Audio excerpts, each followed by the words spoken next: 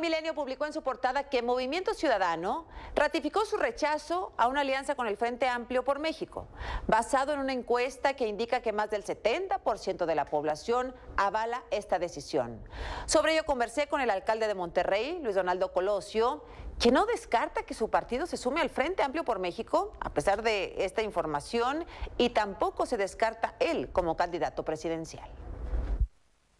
Habías dicho que no veías con malos ojos la adhesión a esta alianza si Xochil Gálvez fuera la candidata. ¿Te mantienes en esa posición? Creo que una figura eh, que, ha logrado sumar mucha simpatía, eh, que es Xochil Gálvez, eh, ha generado también mucha esperanza de, poder hacer esa unión. No sé en este momento, pero yo he expresado que debemos de presentar opciones decentes para que la gente pueda decidir y no pactos políticos. Si eso, Chil Galvez, eh, ¿te sentirías más atraído? He mencionado que, que, a, esa alianza le sobra mucho el PRI, que le falta un MS para lo federal. ¿Propondrías que sacaran al PRI y entrara a movimiento? No, el propósito de la alianza debe ser trabajar en favor del país, presentando propuestas congruentes y sobre todo gente congruente, no derrotar a la cuarta transformación. Es presentar mejores propuestas y que la gente decida, carajo. ¿Cuál es, es parte también de lo que quiero, es parte también de lo que quiero platicar con mis compañeros y mis compañeras este, en la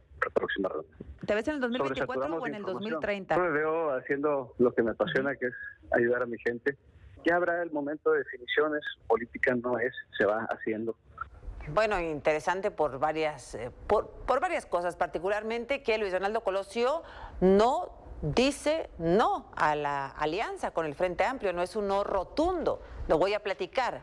Tampoco dice no a su posibilidad como candidato presidencial. Probablemente la próxima semana tengamos más información.